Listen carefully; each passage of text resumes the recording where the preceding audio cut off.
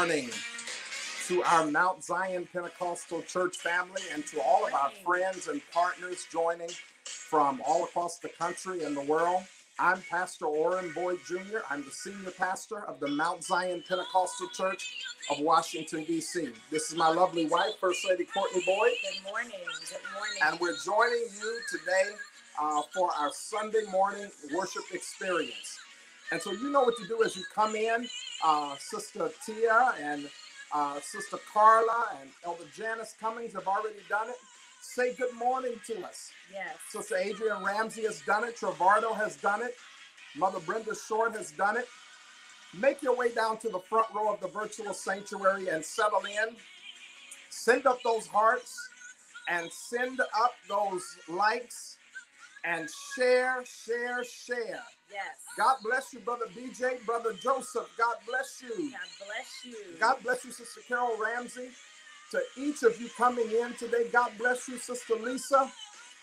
Come on down to the front row. Brother Come Roger down. Ramsey, come on down to the front row. Brother Herbert Law, God bless you. Yes. Brother Christopher Bland, God bless you. Sister Michelle, God bless you. We're praying for you. Yes, yes, yes, we are. Elder Sue Jones, Sister Doris Stevens, God bless each of you. Brother Reginald. Williams, this is the day the Lord hath made. Yes, it is. God bless you, Elder Pewsley, to the Pewsley family. Brother Devin, front row bound. That's it. Come on, sir. Good morning, Brother Clarence Ramsey, Sister Valerie, Sister Denise Petropa, Sister Sharon. God bless each of you. Good morning. Love you so much. It's a joy to see you coming in this morning. Sister Catherine Ortega, God bless you. Good to see you. Sister Tish, God bless you. Good to see you this morning. Yes. Sister Tammy and the Collette family, God bless you. Good to see you this morning. Come on down. And while you're coming down, send up those hearts That's right. and share. Come on, let's share. Let's spread the word. We've got an awesome, awesome uh, surprise for you today, and I'm excited about what God is going to do. God bless you, Sister Brenda Williams. Good to see you this morning. God bless each of you coming into the virtual sanctuary. This is our time of morning glory. Morning glory is the time where we just lift up the Lord and praise Him and magnify Him. God bless you, Sister Buana. Front row, pen and pad. That's it. That's right. God That's bless right. you, Brother Wally, Sister Bola. So good to see you today. Glory to God. I'm telling you, we have a treat for you today.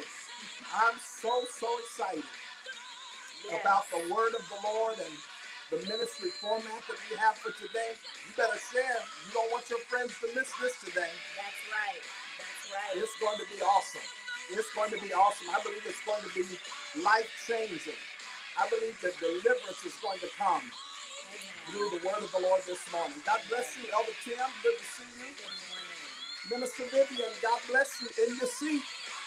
Glory to God. All right. That's all right. God bless you, Mother Cephas. Love you dearly. Love you, Mother. Glory to God. God bless you, Sister Mitty. Good to see you. Come on, come on, come on. The front row is prepared for you. You're a VIP. If you've never been a VIP before, you're a VIP today. God bless Reverend Cutler and Mama Cutler. Good God to see you. you. God bless you. And welcome to the longest front row In in, the the, body body, of of Christ. Come on down and God- take your seat. Yes, God bless you, Sister Althea Green. Somebody go to clapping for all the VIPs that, that are coming in. Put some claps in the chat. Put some claps. This is for all the VIPs coming into service this morning. You see them just a, a stream coming down to the front row. Very important persons. Yes. Glory to God. God bless you, Sister Harriet. Mm. Glory to God. God bless you, Brother Thomas. Good to see you today. God bless you. Good morning. God bless you, Mother Constant Berkeley. and happy birthday to you. I remember your birthday is three days after mine. Happy birthday. We love you so much. Good to see you. Oh, I see everybody clapping for the VIPs coming down to the front row. Glory to God. Yes. And you are very important people to God. Yes, you You're very important people to God and to us. We thank God for you. Amen. God bless you, Brother Carlos, Sister Denise. Uh, my one of my mentors. His one of the things in the church is all people matter to God. That's Bishop right. Jack. That's All right. people matter to God. You are a VIP. If you ever went to a conference and you couldn't get a seat because it was VIP seating, not today. You're the VIP. Come on down to the front row of the virtual experience where the power of God is moving, where life changing is happening. Yes. We give God glory and praise today. We serve a glorious God. Yes, we. And we come to praise him and to lift him up and to magnify him today. As you're coming in, make sure you take a minute uh, to send up some hearts and to share. Make sure you share. Those that you're connected to need Praise to be a part of this worship experience. God bless you, man of God, Brother Daniel, Minister Daniel Laju. Right. God bless you, God sir. bless so good you. to see you from Uganda. Came and ministered to us a few years ago and blessed us in a tremendous way. I believe that was 2019. We thank God for you. God bless you, Sister Lisa Jackson. Good to see you this morning. And Sister Dorothy. God bless you. Good to see you this God. morning. Praise God. I am so excited about service this morning. Yes. I've just had an anticipation, um, just waiting for the word to go forth, waiting for the fellowship of the saints. Uh, I am encouraged just to be in the midst of the saints. It's a there's, blessing. no, there's nobody in this world like the saints. God bless the people of God. Yes, yes, yes. God bless you, Sister Mayamu. Good to see you this morning. Come on, let's give God the glory this morning. As you're settling in on the front row, be sure to share and to connect with those that you are connected to in Yes. social media world so that they can receive the word this morning. Call your nephew. You know he likes to sleep late. Text your niece. Tell her it's time to get to service. Glory to God. We are expecting God to do something great for us today. God bless you, Sister Thomasina. Good to see you. We praise our King. God bless you, Sister Kyra. Let's celebrate our King. I love to hear you pray and call him O King. O King. it. Glory to God. God bless you, Sister Minnie Reed and Pastor Reed and Deacon Granddaddy on the front row where you belong. God bless you all. Come on, let's celebrate God today. God bless you, Mother Rosie. We love you so much. Worthy of all praise. He's the Lord God and ancient of days. Let's lift him up. Come on, Zion. We praise our King. Glory to God. God bless you. I want to thank God for those that are joining us on our conference line this morning. Uh, to Mother Florine Collins, our church mother, to Mother Stella Hawkins. God bless you, Sister Helen Simon, Sister Remitro Thomas, Sister Dorothy Jackson, Sister Nancy Smith, Sister Dee King, Brother George Williams, and others are joining in even right now. We thank God for those on our conference line. Love you so much. Love you. Welcome to the front row. Right. You're on the front row on the conference line, and we thank God for each of you. Glory to God. I love it, Brother Herbert. That's it. Let's bombard heaven and ask God to move through the word. As you're praising God, just say, Lord, speak to my heart today. Speak to my heart. Speak to my life today. Come on, Sister Maria. We got a seat for you on the front row. Come on in. God bless you, Minister Patricia. Good to see you this morning. God bless you, Brother Bobby Cannon. Love you all. Good to see you in the virtual sanctuary today. God bless you. God bless you. Take a seat and get comfortable. There is a word from the Lord just for you. Amen. And then share, share, and share. Come on, push it out. If you haven't shared yet, find that share button and share so that someone you're connected to can receive. God bless you, Sister Sheila Thomas. Good to see you this morning. God bless you, Sister Mary. If I remember correctly, I believe you're related to Elder Hughley. If I remember correctly. So good to see you uh, this morning in the worship experience. God bless you.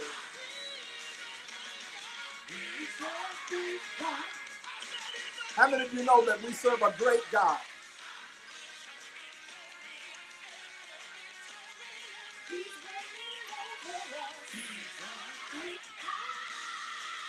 Come on, somebody. Declare that He's a great God.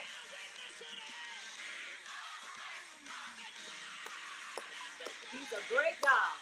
Woo! Glory. He's my great God. Woo! Great God. He's a great. The That's right. one pew. One pew right. with one accord, all in one place in the virtual sanctuary. We're assembled together, whether you know it or not. Yes. Glory to God. We're not in the physical building, but we're assembled together under the mighty hand of God. We're assembled together in spirit. We're assembled together in expectation. And we're believing our great God to do something great in our life today. Yes, God. Hallelujah. The virtual upper room. Yes, yes, yes. Yes, Lord, this is the virtual upper room. Glory and to listen, God. when the people of God get together with one accord, praising and lifting up the Savior, hallelujah, He comes in. He comes in, His power falls. and where the Spirit of the Lord is, There is liberty. glory to God. Hallelujah. I felt an old Pentecostal holler down in my soul. Woo, we bless the name of the Lord today. We bless the name of We the give God the glory. We thank God we're in the month of March. And I'm excited about the teaching for this month and what God is going to do for us through this time of teaching and impartation. Our theme for the month of March is authentic.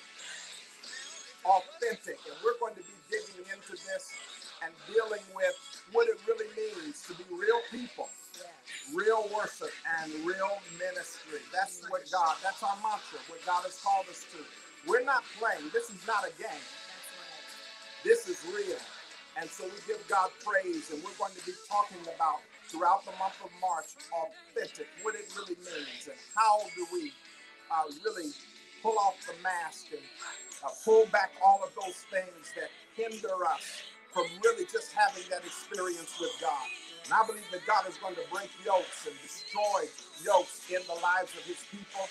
I see you coming out with a praise that you've never had before. I see you coming out with a glow in the Holy Ghost. I see you coming out perfected in the things of Christ. I see you coming out walking and moving under the anointing of God. I see you coming out as a terror to the enemy because you have spent time with God. You got in touch with the real God, and God is doing great and mighty things in you and through you. I see it happening in your life through the Word of God and through the power of the Holy Ghost. Glory to God. This is your time. This is your season to experience the outpouring of God's favor. This is your time. This is your season to find out that you're not a throwaway, that you're not trash, that you're not leftovers, but you are God's anointed. And as you tap into who God has called you to be, to see his power resting upon your life, as you tap into who God has made you to be, to see him moving through you and reminding you that he loves you, that you are his best. Glory to God. Hallelujah. I'm excited about what God is going to do in our lives through this season of teaching on authenticity, being authentic. Glory to God. Hallelujah. Well, I'm, I'm almost ready for the word. Let's pray. Father, we thank you. We praise you. We magnify you. We give you glory for who you are. Lord, throughout this virtual sanctuary, we ask, oh God, that you would move by your power, move by your strength. God, we ask that you would have your way in our midst today. Lord, we pray that you would open our hearts, Lord, that whatever you want to do, that it would be done in us. Lord, we thank you now for this opportunity and this mode and means by which we gather and we worship you. Our worship, let it be for real. Let it be received in heaven as a sweet fragrance of glory that has come up from the earth unto you. And Lord, we'll be thankful and give you praise for it in Jesus' name. Jesus. Amen. Amen. Glory to God. Well, Praise we thank God. God. for this opportunity to come together today um, just to share with you. Uh, again, I'm Pastor Orin Boyd, the senior pastor here at the Mount Zion Pentecostal Church. God bless you, First Lady Robertson. Good to see you. Uh, this is my lovely wife, of course, First Lady Courtney Boyd, and we're just blessed of the Lord. This is the first Sunday in the month of March, and you may notice today that uh, normally on first Sunday, I'm wearing a, a, black suit and I'm wearing my uh, clerical clergy collar uh, as we celebrate the Lord's Supper. But in keeping with the theme of authentic, um, today I decided to just put on a jacket and a, a shirt, no tie, uh, because it's while we we appreciate those various um, elements that represent uh, various aspects of our faith. Mm-hmm. Uh, the mm-hmm. most important thing is, is that we be real with God. Amen. And so today we will celebrate the Lord's Supper, but uh, I'm going to do it in a suit jacket and an open collared dress shirt. Glory to God. And, and uh, we just appreciate God uh, for this opportunity uh, to come together and to worship with you. We had another great week of, of ministry. Our 6:30 a.m. prayer um, has just been God is continues to take us uh, from level to level, and so many are engaging and joining in um, in that prayer. Our 7 p.m. prayer on Thursday night um, has just been anointed. The intercessors are tapping in. God is bringing a unity um, in uh, through prayer, and uh, it has just been tremendous. Um, on uh, Friday night, the women of the Lord had a beautiful yes. uh, session together. I think Pamper, Pamper Pearls and and prayer and prayer. Glory to God. Yes. And uh, that was just a very very powerful session. Monday night we had a powerful session uh, with the men of the Lord, and so it's just been it's ministry happening almost every day. And I'm going to tell you something: the noonday Wednesday unscripted session on Zoom. Yeah. If you have not tapped in to unscripted on Wednesday at 12 noon on Zoom. If you're free, if you're available, yes. you owe it to yourself to tap in. Uh, God gives us some revelation, yes. and uh, it's a, just a very relaxed time for us to, to share the things of the Lord and to be uh, built up according to the principles of God. And so, if you've not had a chance to tap into that 12 noon unscripted on Wednesday uh, via Zoom, uh, I want to encourage you to make it your business to, to do that, to join yes. us. Well, um, before I go any further, uh, we have our first lady here with us. I want to give her an opportunity to uh, to greet us this morning and uh, say hello. Well, hello to everyone, and God bless each of you. Uh, this is the day that the Lord has made. Let us rejoice and be glad in it. We're just grateful to be here one more time. Uh, just uh, the old saints used to sing a song that says, "Just another day that the Lord has kept me," and I, I, I, I feel like one of the old saints today that it's just another day that He kept me, and I'm certainly grateful for his keeping power. Uh, we certainly appreciate the this past week as pastor shared on the different uh, different areas of ministry that were served this week. We also love our pastor so much and we're so grateful that we were able to celebrate his 51st birthday uh, so thank you to all of you who supported that and i'm sure he'll talk about that some more uh, but i'm just excited about the word today i'm excited about this theme isn't it ironic that we are in a season when we have to don a mask? We have to wear a mask when we leave out of the house. We encourage you to continue to wear your mask when you're outside of the house. But when we but when we come before our savior, it's so beautiful that we can remove our mask, we can remove the veil, we can remove all of the things that are keeping us uh, from a real and authentic relationship, authentic communion, authentic uh, devotion to the Lord. And He sees us. He sees us and loves us the same. That's what's so beautiful. There's a scripture that talks about oh that we would know the depth and the width and the breadth of god's love.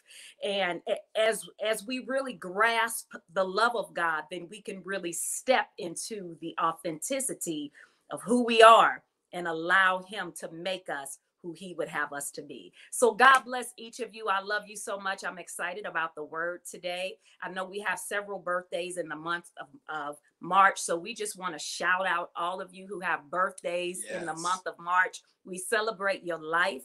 Uh, and we're so thankful that you are a part of our community. God bless you. Amen. Thank you so much, honey. And uh, um, I want to say, um, uh, I, have a video that I'm going to share in a moment. Uh, I have a, um, I guess you could call it a ritual uh, that I go through um, on my birthday. And I'm grateful to God for 51 years. And uh, First Lady, you, for those of you all don't know, First Lady's a little bossy. She bosses me around, but, I but only it's okay. boss him. That's all. I it's okay. I, I, allow her to boss me around, but um, uh, on my birthday, I like to take time to personally appreciate everyone who took time to remember me. It's kind of a tradition I started many years ago uh, to try to do that, to personally, to personally uh, thank each person that has remembered my birthday or expressed something to me. It's not always easy, and um, let me just say, sometimes I, I, I miss the mark. Uh, but I enjoy doing that because I think if you took time to appreciate me, uh, that it's fitting that I take time to appreciate you. And so I'm in process.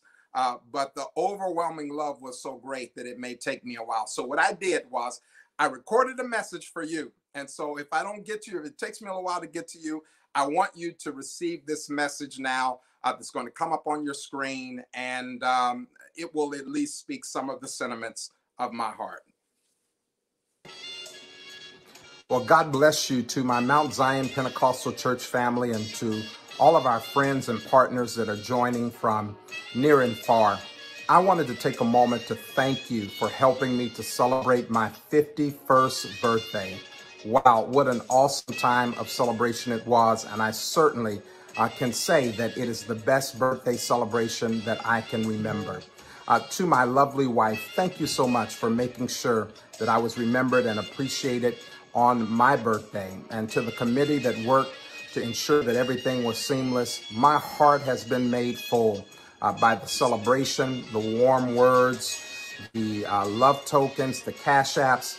I'm telling you, uh, it has just been uh, one for the record books. I want to say to someone that maybe is going through a season where you don't feel appreciated, I've been there. Just remain faithful and keep doing what God has put in your heart to do. And I promise you, He won't disappoint you. Your season is coming as well. So again, thank you from the bottom of my heart I love each and every one of you, and I look forward to doing another 51 years with you. God bless you.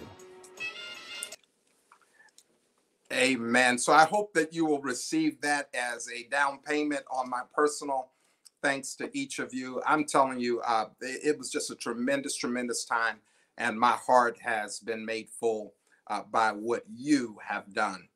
Well, uh, it's time for the word. Uh, just let me share one announcement. Many people have been asking about our Sunday school hour.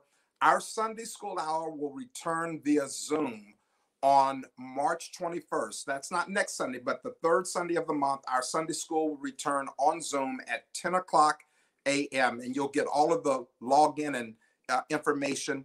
And uh, you can come to Sunday school. It will be from 10 to 10:50, and then you'll have just a few moments uh, between uh, then. Don't y'all try to make me cry today. All right, I'm I'm trying to get ready for the word. But um, thank you all so much. Uh, but anyway, our Sunday school return from 10 a.m. to 10:50. You'll have a few minutes to get ready for service at 11 o'clock um, a.m. Um, as we will uh, share. So that's March 21st. Mark your calendars. Uh, there's some other things going on this week, but for uh, for those that it pertains to, you'll get that information pushed out to you.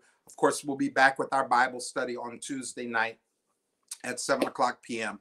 Glory to God. Well, we're going to open up the atmosphere. I have a special treat for you today because First Lady and I are going to minister together. We're going to do a new school tag team um, as we share and talk about authentic and uh, share the word of the Lord with you. I really believe uh, this is going to bless your life today. I, I believe this is going to bless your life. So let's open up the atmosphere with the time of worship. And in just a few moments, First Lady and I are going to share the word of the Lord with you that the Lord has laid on our heart. God bless you.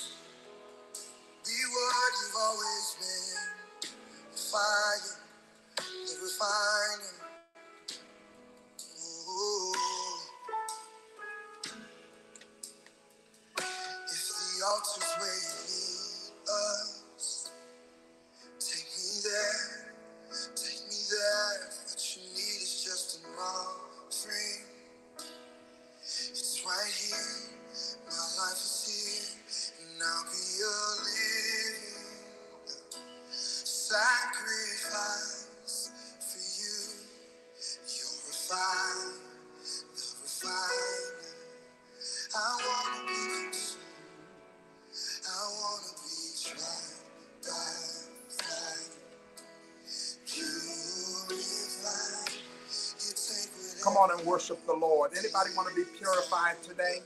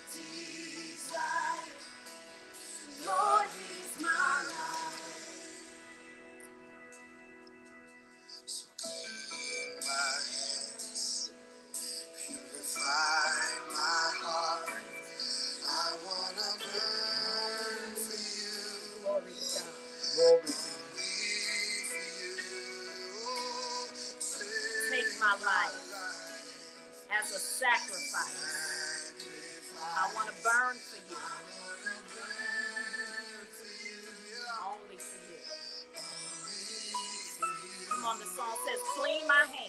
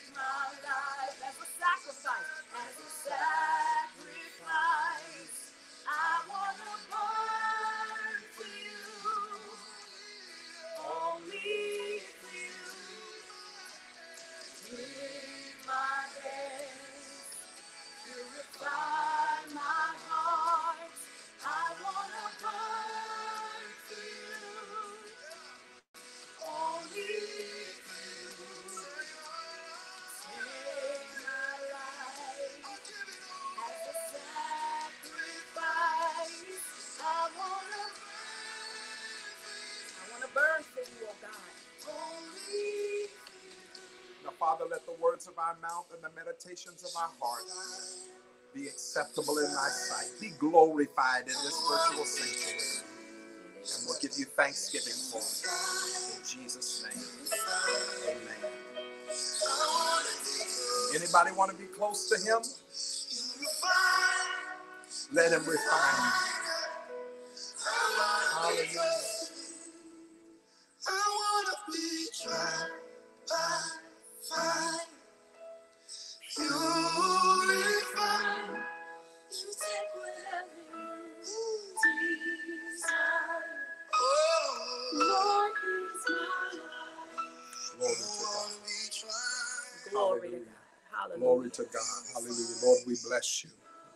Worship you. Glory to God. Hallelujah. Bless his Glory to. God. Well, we bless God this morning and we thank Bless God again name. for each of you joining us. Listen, Glory if you've not shared yet, if you've not taken time to share, uh, I want to encourage you to share right now so that you can uh, uh, allow those that you're connected to to Thank come into this moment in time of worship and the impartation of God's word. Uh, well, as just a pre- preface as we prepare to go to the word today, and we're going to John chapter 4, the Gospel of John chapter 4, and we're going to share from a passage of scripture there uh, today. Uh, but just as by way of preface, um, I'm grateful to God for um, my wife, a first lady uh, that God brought into my life many, many years ago when she was uh, um, just uh, uh, barely legal. Uh, She had just turned 18 when we first met. At that time, I was 27, and um, our life path went went different ways. And then, at the right time, at the Mm. opportune time, God brought us back together. First as friends, and then um, as um, husband and wife to do Mhm. life together and to share life. And we've always had a sense and an understanding that um, our life um, is about uh, ministry. We've always understood that. And so as we go forth in ministry, um, we um, understand that uh, life will come and try to disrupt what God has brought together for his glory, Mm. uh, for the kingdom. And so I always tell people, particularly in our Be Harmony marriage ministry, which is every third, uh, put in a plug for Be Harmony, every third Thursday night, uh, we do our couples ministry for married couples and those that are uh, significantly dating. And I always remind couples that marriage is a ministry. It is, um, there's work that is involved. And uh, that ultimately, as you do the work and allow your marriage to be a ministry, God over, He gives you an overabundant uh, joy and peace and contentment and fulfillment within the marriage Yes. and it allows you then to go on to the ministry that God has called you to do. And every ministry is not a pulpit ministry. There's some ministries that um, take place within the community, on on the job, various places. And so um, God brings uh, people together for a purpose. Mm. And I believe that we are living through a very critical, critical time, uh, not only as we're watching the um, unfolding and hopefully um, we're nearing the end of a pandemic, but there's so many different things that are happening in the body of Christ, within the church, the global church, so many things that are happening within communities, within the family structure. There's so many intersections between faith and government and community um, and um, education, uh, science. And so we're living in a very, very critical hour. And so, uh, one of the things that I think is essential is that we uh, learn how to be real, Mm. just to be real. And so this uh, this week, as I was laboring to prepare the word um, and to minister, uh, the Lord reminded me uh, that when Adam was in the garden, uh, Adam had a great task, a great responsibility. And uh, the Lord looked at Adam there in the garden. And I believe, if you could just allow me to use a sanctified imagination this morning, that God just shook his head looking at Adam. He said, Poor Adam, there he is down there with all of the responsibility uh, that I've given him. In fact, Adam really had the weight of the world on his shoulders because it was just him. And I think God looked at him and just shook his head and he said, I will prepare for him a help me. And so I came to First Lady and I, I asked her, I said, So why did God give um, Eve to Adam? She said, uh, Because he needed some help. I said, Well, I need some help preaching this morning. So you're going to help me uh, to preach as we delve into this um, uh, topic of authentic. So let's go to John chapter 4 uh, today. And we want to begin reading at verse 1. I'm reading in the New Living Translation. And it reads Jesus knew the Pharisees had heard that he was baptizing and making more disciples than John. Though Jesus himself didn't baptize them, his disciples did. So he left Judea and returned to Galilee. He had to go through Samaria on the way. Eventually, he came to a Samaritan village, a Sychar, near the field that Jacob gave to his son Joseph. Jacob's well was there. And Jesus, tired from the long walk, sat wearily beside the well about noontime. Soon a Samaritan woman came to draw water, and Jesus said to her, Please give me a drink. He was alone at the time because his disciples had gone into the village to buy some food.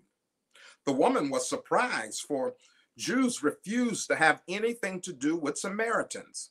She said to Jesus, You are a Jew, and I am a Samaritan woman. Why are you asking me for a drink?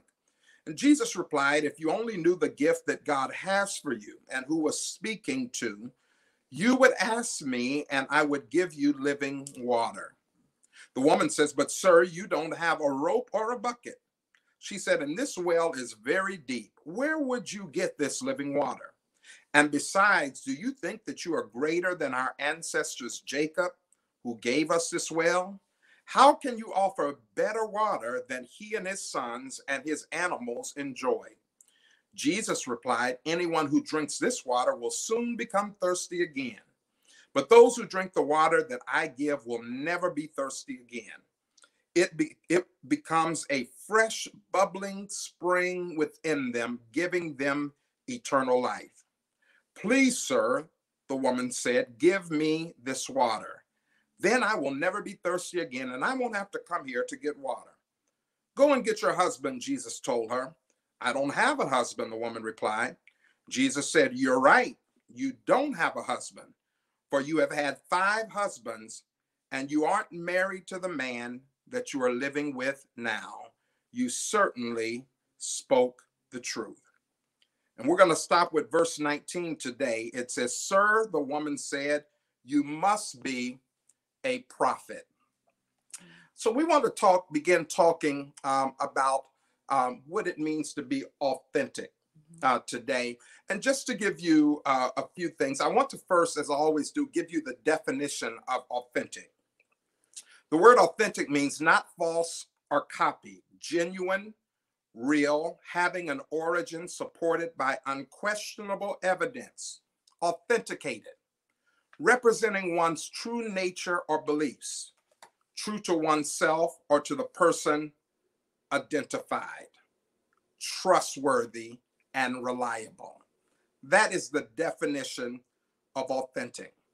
Now, we're broaching this subject because I realize we've not taken time to really give voice to the mantra of our church, to really delve into our mantra of real people, real worship, and real ministry. And I think it's critical that we understand why that is the mantra of our church. You know, roughly every 20 years or so, every generation, the church goes through a shifting, it goes through a transition. Um, the tide of ministry changes. And that's because there is a different level of requirement from the harvest. The harvest is looking for something different. And too often the church is late to understand uh, what is required of the harvest. We're living in a day and time to where the harvest is saying that if I'm going to adopt uh, your faith, if I'm going to give audience to uh, your confession of faith and to your evangelistic efforts, I need to know that what you're talking about is real, that it goes beyond sound and theory, that it goes beyond an emotional expression and outbreak uh, that is not matched by a soberness of mind and the ability to live out that faith in between those um, moments of ecstasy. Hmm. The harvest is demanding something different, and this has been um, this has been complicated or it's been made even more vivid because of uh, many of the scandals and things that have happened and transpired in the church. The harvest is saying that um, I see um, a disconnect between your preaching and teaching and the lives of those that are connected to the message from the highest levels of the episcopacy to the leadership uh, to the leaders, to the members. I need to see something that is authentic because I don't want to attach my faith or my confidence to something that is not real. And so while there was an age where people were drawn to the church because of the excitement, uh, because of the melodious singing of choirs that they had never heard before, uh, the rhythmic expression of preaching from dynamic uh, uh, expositors of the word. Uh, people were drawn to the church because of uh, beautiful facilities that were uh, erected, beautiful interior design of facilities. People were drawn to the church uh, for all of these different reasons. Now the harvest is saying, show me something that is authentic, something that is genuine, something that is real, something that can be supported by unquestionable evidence. This is the test that the harvest is applying if they're going to be a part of your church. Show me that it's real. Show me that if you preach that you can live free and separated from sin in this present world, show me people that are living holy. Don't just teach me about holiness, but show me people that are literally allowing the purification of the Holy Ghost um, to work in their life. And so it's important, brothers and sisters, that we be real people, that we remove the mask, and that we have encounters that refine us to reflect who God has called us to be. So as you look at this text here in in John chapter 4, and First Lady and I both have preached from this text, I guess, multiple times. Um, um, I preached, it was one of the texts that I preached from very early in my ministry. By the way, people aren't necessarily looking for cute sermons with three points and a close people are looking for something that will penetrate their heart and that they can apply to their life. Uh, so we preached from this text and talked about this text where this woman uh, meets Jesus at the well. Mm-hmm. And this is a very real, authentic experience. Yeah.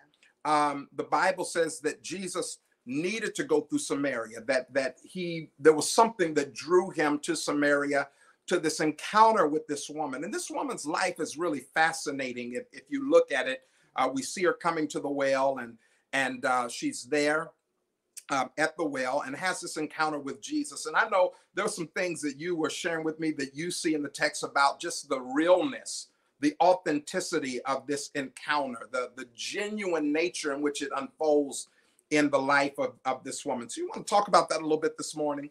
Uh, thank you so much, Pastor. There's so much in this text. This Yes. is this is such a powerful text of how God is so intentional uh, to find us exactly where we are. And I know Pastor has shared a quote, something like this, but I'm going to tweak it a little bit and just share with you that God does not meet us where we pretend to be, but He meets us exactly where we are, wherever that is. He seeks encounters with us to meet us exactly where we are. And we see here in the text that um, here in the King James version, it says that he must needs go, that he that that he had to go through Samaria. That was not the route that would have typically been taken uh, for him to get to where he was going, but he detoured and he must needed to go through. And I know that doesn't sound grammatically correct, but that is how the text reads that he needed to go through Samaria. And when I think about that, I think about the fact when it talks about this text, Pastor, the only thing that Jesus did in Samaria was have that encounter with the woman. That's So that lets us know that he needed to go to have this encounter with this woman that the world had thrown had thrown away. That she was so sh- uh, full of shame because of her past. And um, and as I read this text, it shows that Jesus is always welcoming us Yes. uh, to be real. He's always welcoming us. As we look at the conversation that he was having with the woman pastor, when he began to, he asked her for water. And she began to say, Well, surely you don't want me to give you water. I'm a Samaritan woman, right? So that already goes to show that culture had already divided her Right. from right. her help. And many times, the way the world is, we feel based on whether it's church culture, based on whether it's a secular culture, when we really need help, we feel disconnected from our help because of the state that we're in. Absolutely. But Jesus welcomed a closer encounter with her and he said, No, no, I want you to give me drink. And he gave her drink and then he began to ask her questions. And I'm going to uh, pass it back to you, Pastor. Uh, I just want to, well, sorry, go ahead. You- No, I was just going to make. I was add? to make a comment that that something about authenticity that is um, is so important. Um, customarily, the Jews didn't travel through Samaria, Yes. Samaria, or have interaction with Samaritans. And, and the history behind that is is that the Samaritan people were very opportunistic Mhm. in terms of their relationship with God. They served God when it was convenient, but they uh, their faith was not pure. Um, in other words, they didn't follow all of the customs of the faith. They kind of picked and choose, much uh, I guess, uh, kind of how we do today. For sure. And the Jewish people tend to be much more devout in terms of the practice of their faith, even if their heart wasn't right. Practice of their faith was more pure, more devoted Yeah. than the Samaritan people. So the Jews had no dealings with Samaritans. But one of the things about authentic people is authentic people don't allow tradition to put them in the box. Mm, They don't allow traditions. They don't allow um, uh, rules and regulations that do not conform to truth and reality to keep them from walking in purpose. yeah, that's right. so good. And so Jesus understood a purpose. Uh, he had a purpose to connect. He came. He said, "I came not uh, for those that are are whole." He Mhm. said, "But he said the whole don't. Those that are well don't need a physician. It's those that are sick that need a physician."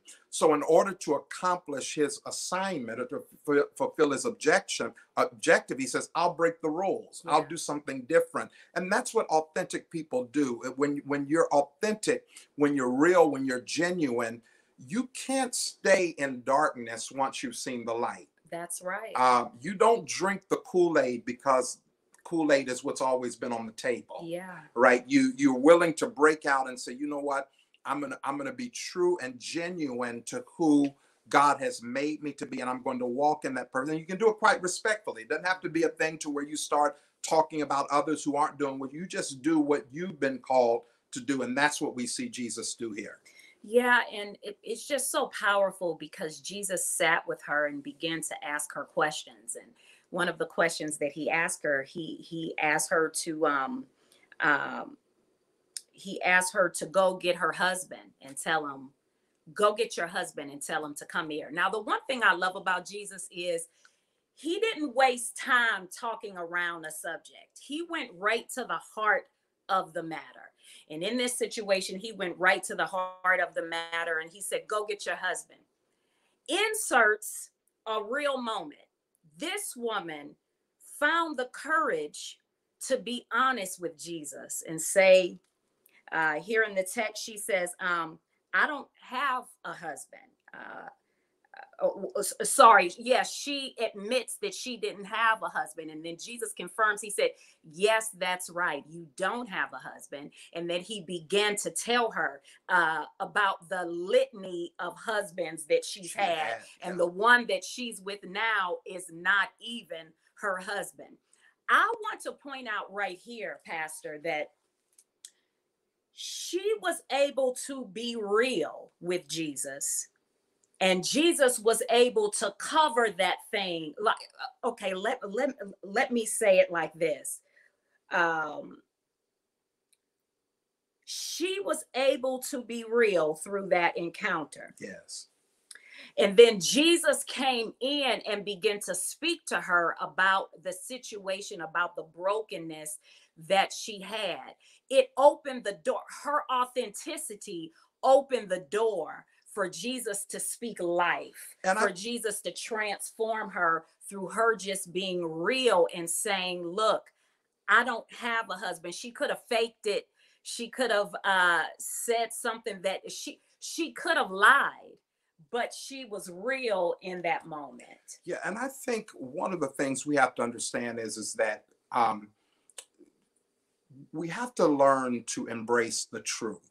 Yeah. Okay. Um, so many people are living under a false sense of reality, uh, whether it be false doctrine, whether it be Mm-hmm. um, something that allows them to avoid um, the reality of life. See, there are realities of life that have nothing to do with how we see an issue or how we feel about an issue. Yeah. there's a reality of life. And one of the things for example in this text and and you know we, we we just whenever we're teaching and preaching it's not to bring condemnation it's to bring clarity. That's jesus right. didn't come to condemn the world but he came um, that the whole world through him might be saved. So in other words if you're living in a state that is in conflict with god's word that is a form of condemnation. Jesus doesn't highlight that, but he brings clarity so that you can embrace the covenant of blessing.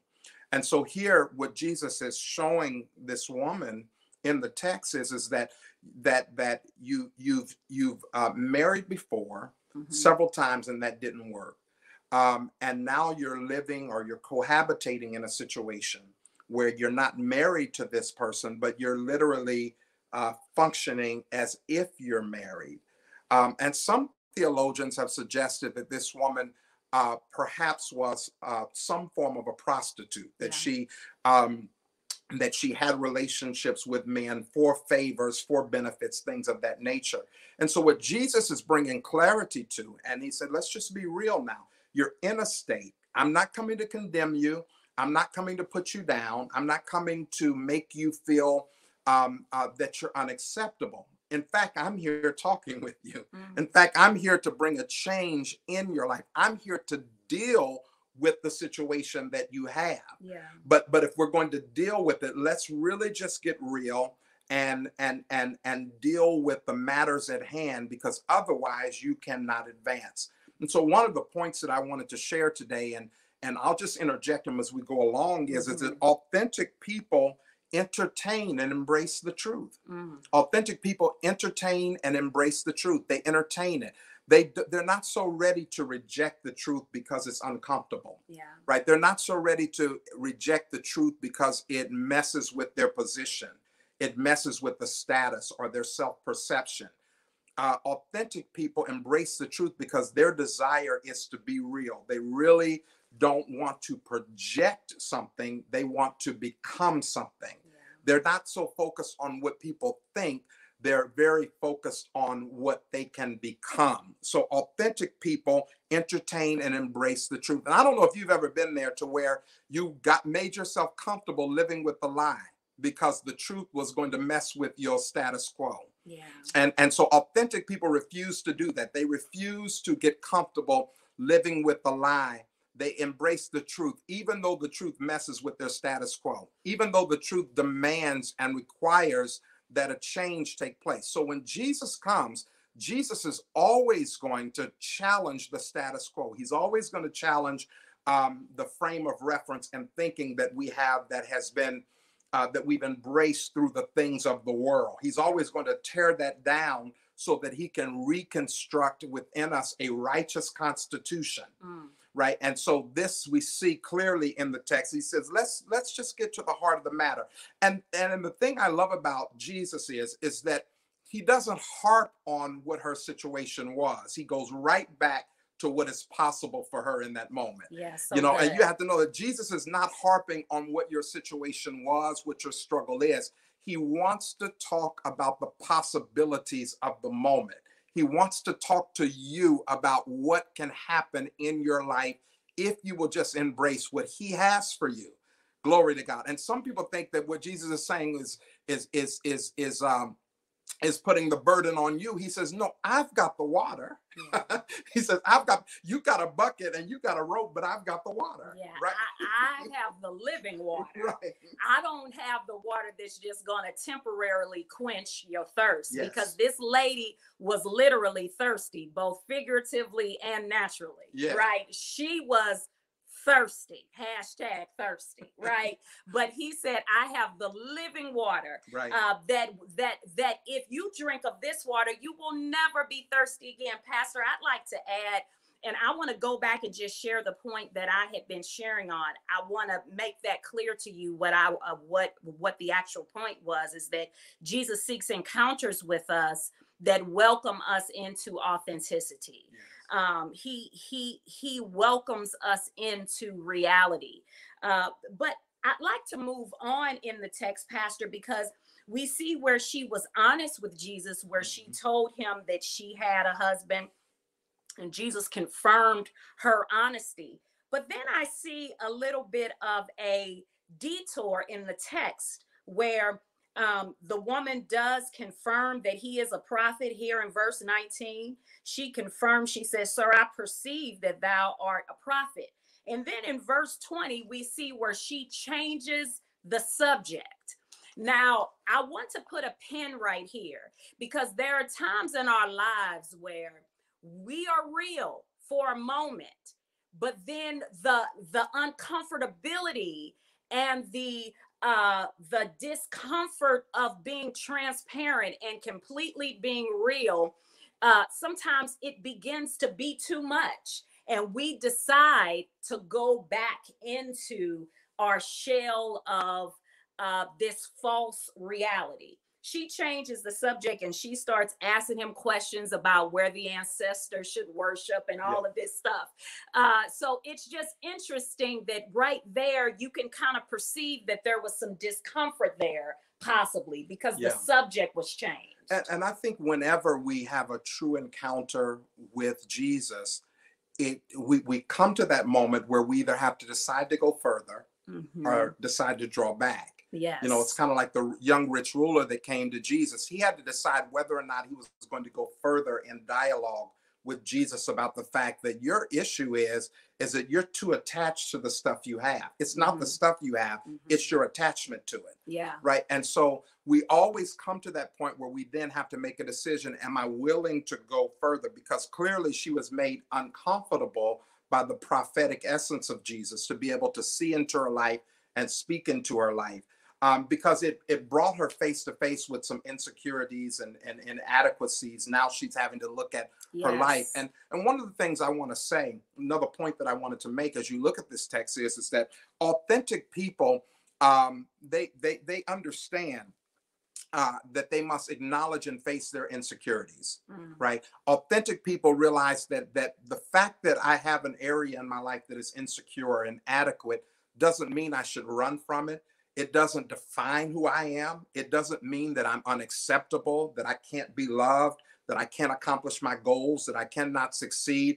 It simply is an acknowledgement that I've got some work to do. Yeah. Right. And then we understand in our faith that it is God that does the work in us as we cooperate. So this woman's life story and and uh, you know her life story really, and we don't like to talk about it. Her life story reflects uh, our life story Mhm. because um, I cannot I cannot be- begin to share the mistakes that I've made in my life Yeah. the areas in my life that if I just stop to dwell on, well, you missed the mark here, you didn't do this, um, or areas in my life where I know, you know, there's sometimes people see, me, oh, pastors got this together, pastors got that together, but they don't necessarily know the inadequacies that I may have because they don't walk close enough to me to see it. And so um, those that are going to be authentic have to own and acknowledge I've got some work to do, but it is Christ who will do that work. He's offering me um, the solution. Um, inauthentic people are always uh, passing the buck. They're always making excuses. They're always blaming someone else. They're always um, they're always um, argumentative and defensive rather than Mhm. just accepting. Yes, this is where I am. Yes, I've got to grow. Yes, I've got some work to do. And that's not to say that's not to say that being authentic means that you accept the weakness That's right. or you accept that there cannot be change. You acknowledge it, but then you face it, and through the power of Christ, you overcome it. That's really, really critical. If you're going to be authentic, stop saying that you're not who everybody has told you that you are. I know there's a lot of teaching today. Don't let people put this on you. Don't let people put that on you. And I get it. That's true. But but but everybody, as grandmama said, everybody ain't lying, right? When people begin to share with you their certain characteristics, especially people that that care about you, you know they care about you. Before you reject it, before you say no, it's you, just acknowledge it, Yes. and then through prayer and through a- application of the word, allow God to grow you through that area. The prerequisite for this woman at the well to get the water was to accept the truth that Jesus was giving her, to embrace it, to acknowledge it in spite of her insecurities, and then let God do the work in her to make her what she should be.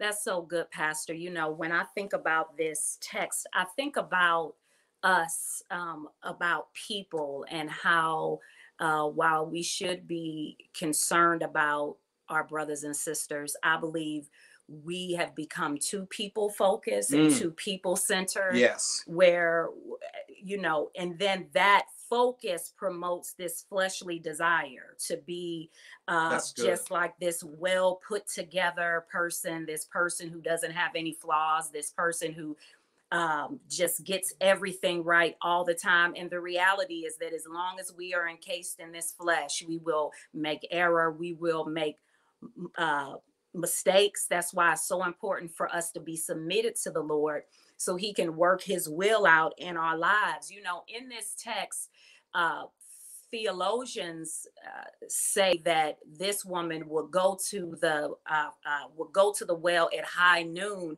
to draw water because that was when No one uh, was there. no one was there. Yeah. Everybody else would go in the morning uh, when when the sun wasn't at its highest peak, but she would go at high noon, the most brutal time to draw water, because her shame was so heavy. She did not want to hear the whispers. She didn't want to see the eyes. She didn't want to experience the women that were trying to keep their husbands away from her. Whatever it was, her shame was so heavy that she was unable to to really do what needed to be done. So I just see that we're so people focused. And when I really think about um, church culture, I want to say that it has made it very difficult for people to be honest and to be real and to show up in their broken space. Well, and I think that's, you know, when the Lord gave us the theme, real people, real worship, real ministry, I, that's the heart of it. yes. That, that um, we're not, the standard of holiness will not change for anyone. Yeah. God's standard is holiness. But how do I get there? Yes. I get there through a community that is willing to walk with me, willing to worship with me, willing to Mhm. minister to me, willing to give to me without highlighting the things about my life that have been shameful, yes. right? Or even are shameful today. right? And so all of the practices and the way that we do church, how we correct, um, how we encourage, Yeah. right? How we give grace, all of these things, and so not just true. in the church. Um, this goes true in our homes uh, many times, and we've talked about this in marriage ministry and in singles ministry as well. Many Mhm. times, people's relationships are are uh, directed by past shame, past things they've been involved in, Yes. Right? And and so there's things. Sometimes they don't feel shame, but what they were in was shameful. Was shameful. And so That's now good. it is affecting how all of their relationships take shape. And so we we have to create this authentic community where I can uh, share my authentic um, self and then uh, progress in growth and development with Christ until I come into the image of His dear Son and Yes. holiness. The standard of holiness doesn't It change. doesn't change. And oftentimes Amen. in the church, I think we're afraid to be real because we don't want to uh, we, we don't want to weaken the standard of holiness. yeah. Listen, holiness is God's standard that can, it's it's non-negotiable. It cannot be changed. We must all embrace that as our standard and our measurement and move and progress toward it. We cannot make excuses for it, but we got some work to do to Yes. measure up to it. We have some work to do to come into it. If I look back over my life and see where I was 20 years ago in Christ, I was saved,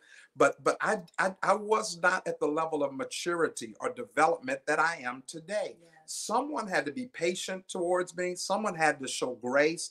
And um, you know, I'm transparent, so expect during this season of authenticity that we'll talk some about some really real things. Okay, uh, I'm very transparent because I believe that authentic people are transparent, not uh, not um, transparent in a way that is uh, just gratuitous, but they're purposefully transparent.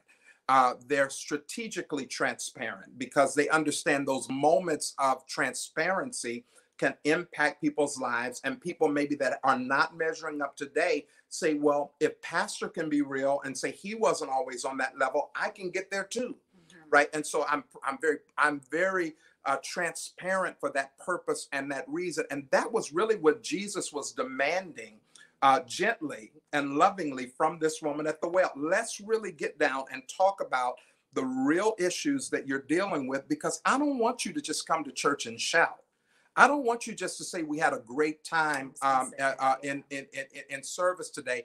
I want you to have a life change that will bring you out of this cycle of brokenness and disappointment and shame and patterns that are driven by your shame. I want to see you experience something that is very dramatic and transformative in your life. Um, if I could share something, Pastor, I, I would I would just like to put this point out there that authentic encounters with God and enable us.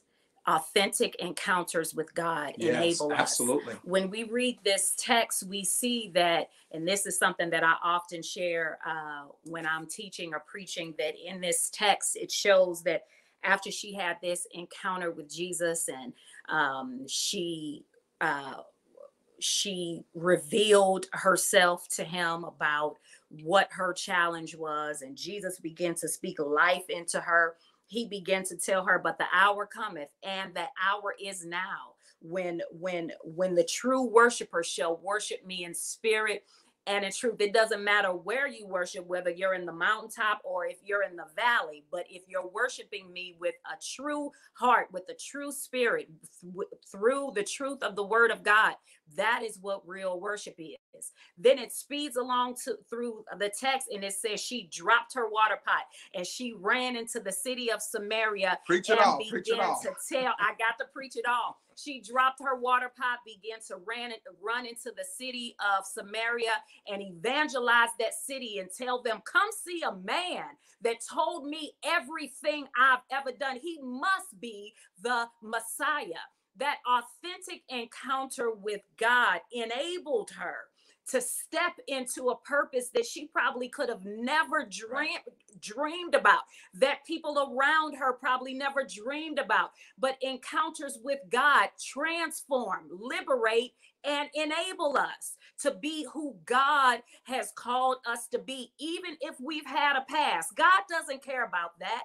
God says, Bring your past to me, Absolutely. and I will be the one that will wash you white as snow. So I just feel like it's so beautiful, Pastor, that in this text, it's showing that it's not saying that I don't want you to be holy because the word says, Be ye holy, for he is holy. But there is a process. And I think many times we preach the end of the process but we don't preach saying that and you know i'm i'm not pointing fingers at anyone but i'm just saying oftentimes we don't hear about the process. When we read through um when we read through the text and we hear those scriptures like jeremiah 29 and 11 that says uh, i have an expected end for you a plan of peace a plan of good and not of evil to bring you to an expected end. We got to understand that there's some stuff that happened before that in between that and after that right but we pull out that text And I,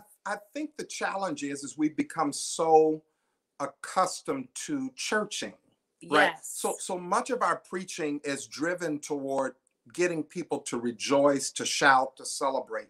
And while that is important, um, i- it's much better if I'm shouting the victory as Mm. opposed to a sh- I'm shouting to cover my sin, right? And so I say think that again it- it's much more important if we're shouting the victory than shouting to cover our sin. We've gotten so focused on churching. If the choir sang good, if the pastor hit his third gear, Mhm. um, if if if the dance came, if all of those things happen, then we say we had church today. But the real measure of church is how are we discipling? How are people growing in the faith so that they can take uh, the word of God, apply it to their life, and get tailor-made results, right? And that's the true measure. And that's why it comes back to being authentic. And and so you went into authentic worship, authentic ministry. I'm You- sorry. no, no, you're okay. But, but, I got but- excited. but it all it all connects together it starts with us being real it starts with us taking our focus off of the church hour and putting our focus on the kingdom hour the kingdom hour is about growing in the grace of god to become the image of his dear son yeah. that's what the kingdom hour is about and so if we had good church and i'm walking around the house not speaking to you we haven't accomplished anything There's been no impact. There's There's been been, no no, impact. kingdom impact. It was just really a working off of some calories. right and But so that was it. But but but no real change. And what we see in the text here is that Pastor, that authentic encounter with God promoted real change. right And and I, I think sometimes we just lack that authenticity where we can say we had church, but there's no fruit that Well, that that's what that we're doing. shows. We have to build it. We, have, to, build. it. We have to build authenticity starting with ourselves. Amen. So I've got to be real with myself about who I am. And let me say this, and I, I, I- I want to say this in all humility. I'm not holding myself out to be anything great or anything. Um, you know, I, by the grace of God, I am what I am. But but I learned many many years ago that the the authority of my ministry was in my authenticity Mm, yeah. right? If there's something that I believe will impact the kingdom, okay, about uh, in, in my life, I'm willing to share it authentically for the kingdom to be impacted. There's nothing about who I am, what I've done, how I've lived, where I've come short, what I am not that I would withhold for the sake of building the kingdom. Mm, Um, there's I, I walk honestly with God about my shortcomings or areas where I need to grow.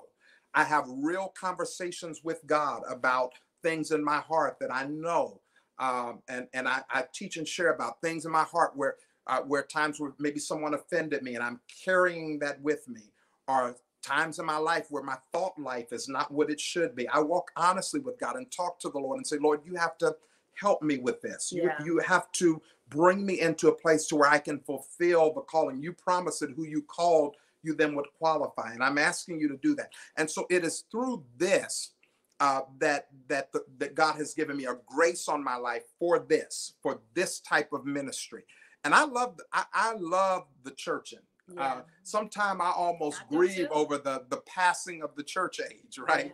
Yeah, You know, uh, and I refer to it in in jest as back when God was moving. I love that. I love to shout, dance. I love to speak in tongues. I love to to to experience the power of the Pentecostal uh, worship uh, service. I love all of that. I love the sound of choirs. Thank God for praise teams, but give me a mass choir any day. I love that. I love that.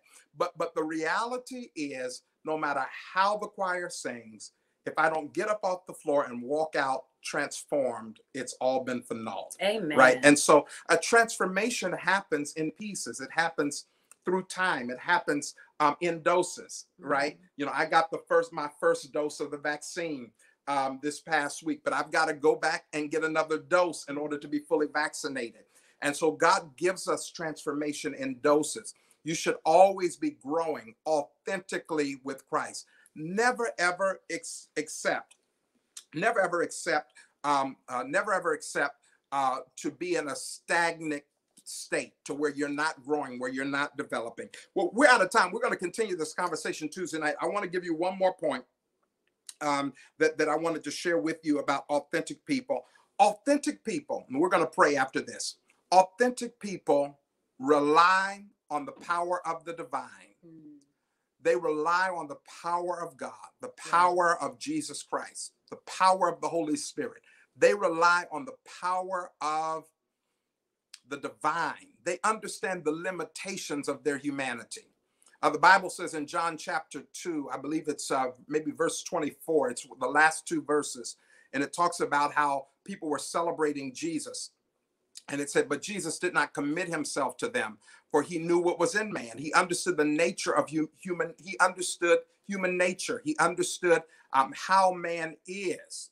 And he understood that there's limitations in what man can accomplish. So authentic people understand that there's work that God has to do in me, and I've got to position myself for God to do that work. I'm relying on his power. I'm not using that as an excuse not to do the work. Let, let me leave that. I'm not using that as an excuse not to do the work.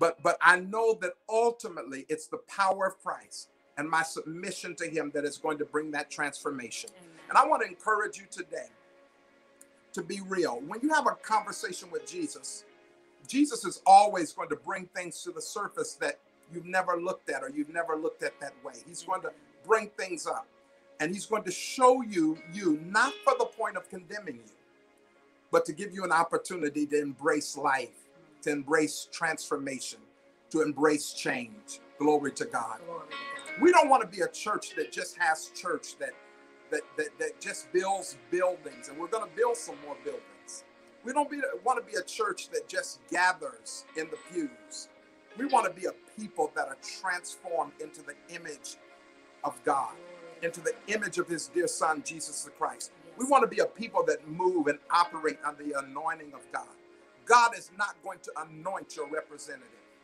God is not going to anoint your substitute, but God wants to anoint you, who He crafted and made you to be, with your brokenness, with your shortcomings.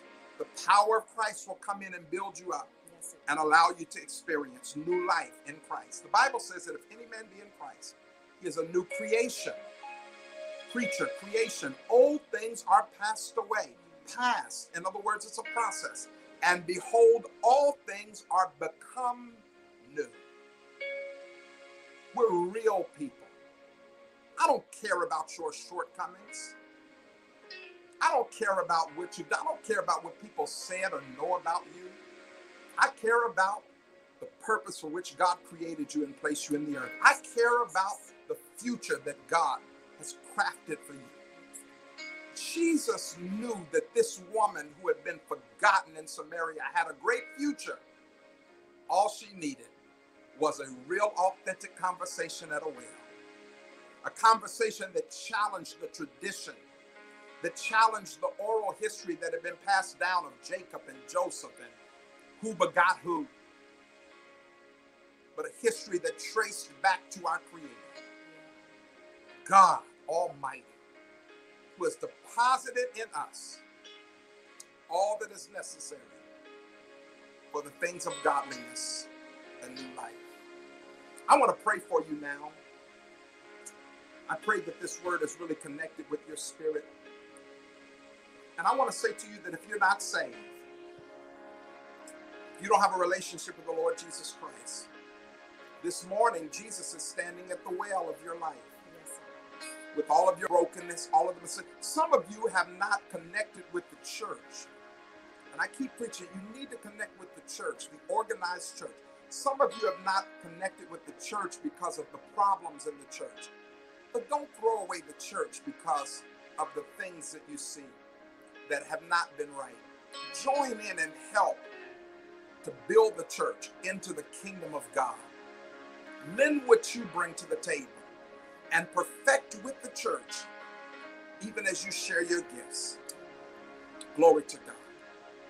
God loves you so much. And if you're not saved today, all you've got to do is confess your sins and invite the Lord Jesus into your heart. Say, I want you to be the Lord of my life. I, I yield. Give me this water. Change my life. The text says that the water that Jesus gives would be like a welling bubbling up continual refreshing, continual washing, continual cleansing. That's what happens when you accept the living water of life that Jesus gives. I want to pray for you now. Father, in Jesus' name, we thank you for this moment in time. We thank you for your word. We thank you for your intentionality. And we thank you that you are a real God that deals with us according to the reality of our life. Nothing is hidden from you, and we don't have to try to hide it. There's no shame, there's no guilt, there's no sin that is too great for you to deal with. There's no problem, no shortcoming, no adversity. Lord, you're able to do exceeding abundantly above all that we can ask or think. So we ask you now, Lord, to stretch out your hand and to touch us. Lord, start the process of transformation from this day forward.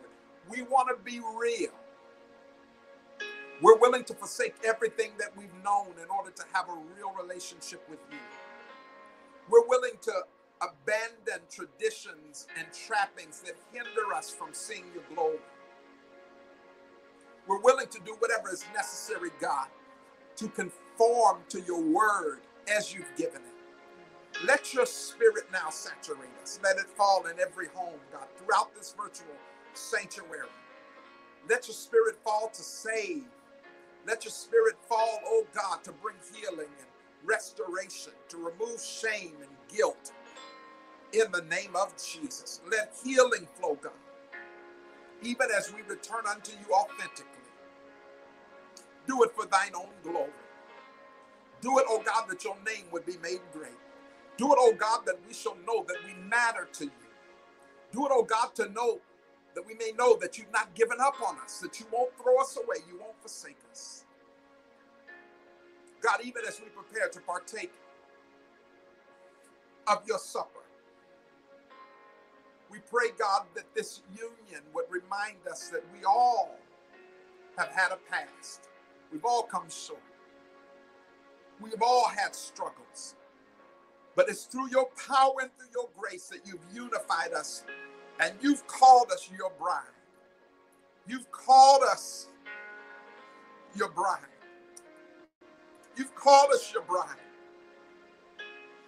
Hallelujah. Lord, we pray that you would continue to work on us throughout this month.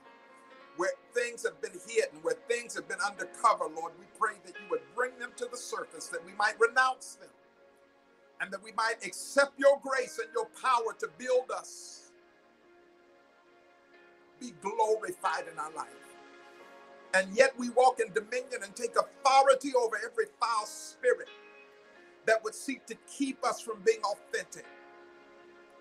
Every trick of the enemy, every deception, every stronghold, we bind it now in the name of Jesus. And we speak a release, oh God, that we might be our authentic self. Scars and wounds, oh God, we bind them up now. The authority of accusations, oh God, we bind them up now. We plead the blood, oh God, over every individual under the sound of my voice. Let your blood cover and wash away, oh God, every hindrance in the name of Jesus. We take authority over the intimidation of the enemy.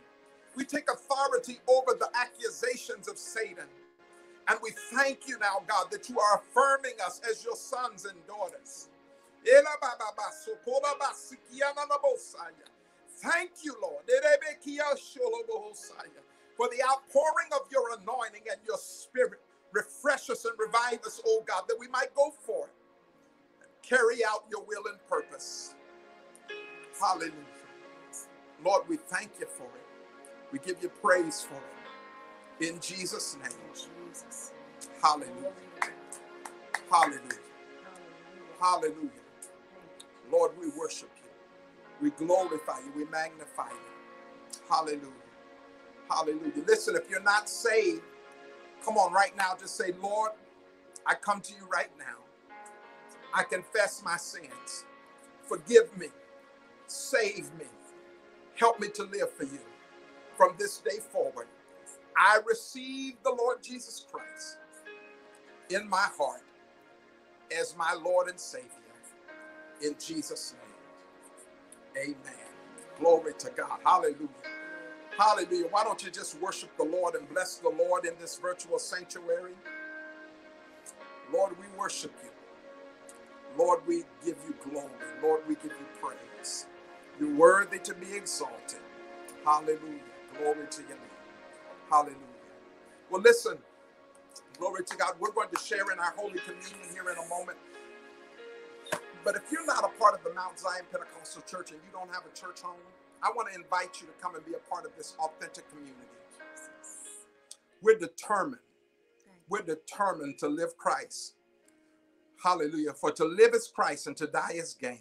If you're not a part of the Mount Zion Pentecostal Church and you don't have a church family, I don't care where you are, send us an inbox and tell them, I want to be a part of the Mount Zion Pentecostal Church. Just drop that inbox and leave it out there, and we'll get back to you and we'll connect with you and we will allow you uh, to be a part of us because we'll be so blessed to have you with us.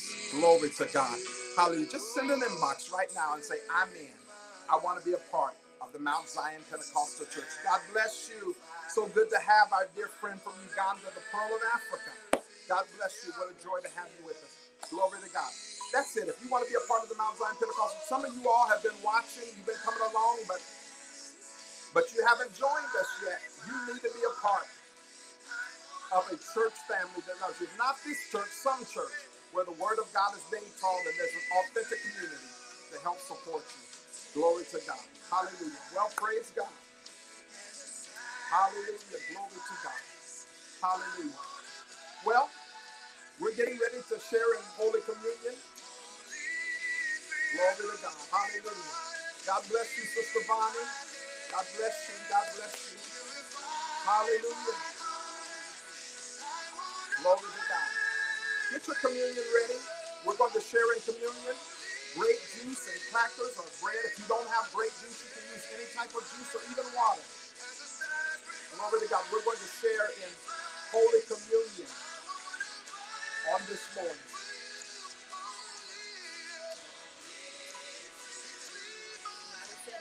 Come back home. Come on back home, Brother Daniel. We're waiting on you.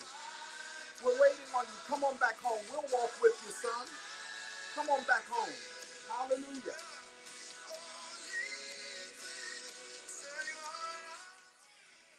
Glory to God. Glory to God. Hallelujah. You, Hallelujah. Get your communion elements ready Thank you, Jesus. as we prepare to share.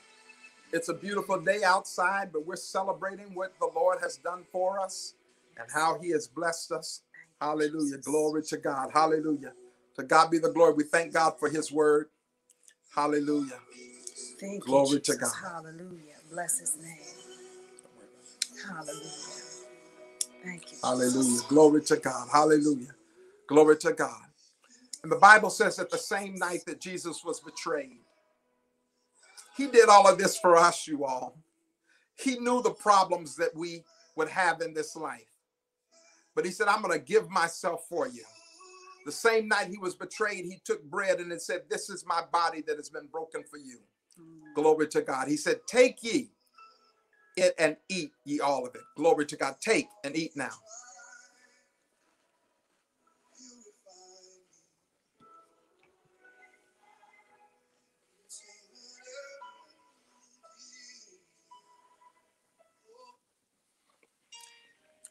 Glory to God. Hallelujah. Glory to God. And the same night, he also took the cup and he said, This is my blood that is shed for you.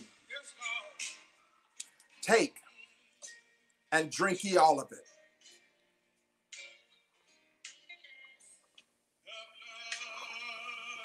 Glory to God. Hallelujah. Glory to God. Thank Hallelujah. We thank Hallelujah. God for this moment of sharing in communion and this wonderful service today. Glory to God. We give God praise and glory for the word. We pray that you have been strengthened and edified. We're going to continue teaching on authentic on authenticity, uh, being authentic on Tuesday night, real people, and we're excited for what God is going to do. Remember, tomorrow morning at 6:30 a.m. we return to our prayer uh, time. Uh, join in for us. Glory to God, and uh, we will be in prayer each morning at 6:30 a.m. and then Tuesday night at 7 o'clock p.m. we will be um, in uh, the Word of God right back here on Facebook Live and on our conference line. Well, listen. Love each of you. Have a wonderful day in the Lord. Oh, yes. Don't forget to give. Thank God for my technology time uh, team reminding us to give your tithe and your offerings. You can do that through Givelify or by mailing it into the church. Be sure to give. You all have been doing a tremendous job. Thank you so much for a tremendous job with your best gift in the month of February. Let's remain faithful, and God is going to continue to bless us. Thank God for Elder Sue Jones' son, Daniel, Praise coming back God. in and joining with us today. We praise God. Praise We're God. continuing to grow and to experience an increase in the things of God. So excited. Heaven is rejoicing. Yes. Glory to God. Heaven is rejoicing. Glory to God. Even as those uh, that have known the Lord are coming back saying, I want to serve the Lord and walk with the Lord. God bless you. Before you run out, say hello to somebody, say goodbye to somebody. If you were blessed by the word, let us know. God bless you, Sister Shante. We're praying for you. God bless God you. bless you, Sister Maria, Sister Lisa. God bless you, Donisa. God bless you, Bless you. Sister Tish. God bless you, Sister Felicia. Donisa, I still need your zip code, daughter. God bless you, Elder Sue. God bless you, Sister Doris. God bless you.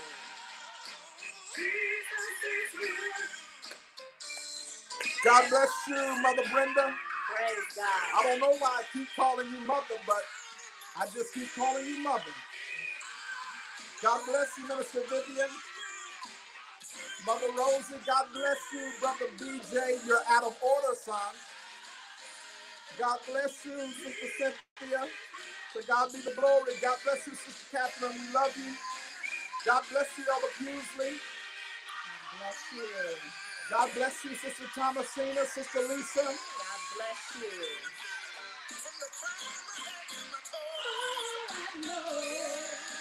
How many of you know that Jesus is real?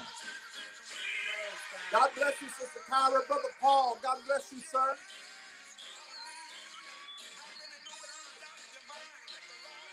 Praise God. God bless you, Elder Tim. God bless you, Shay. God bless you, Brother Herbert. God bless you.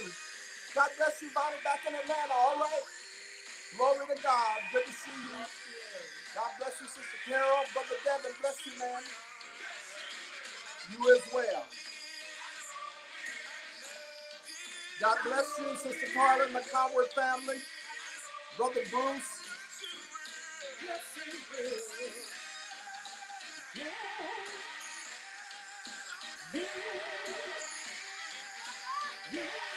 This word has connected with To my God be spirit. the glory. Praise God. We love the Reeds and the Jacksons. Yes, we do. God bless, God bless you, Sister Lisa. Oh, wow. To God be the glory, Reverend Cutler. Keep praying for us. Praise God God. bless Mother Cutler. God bless you, Sister Keisha. To God be the glory. God bless you, Mayamu.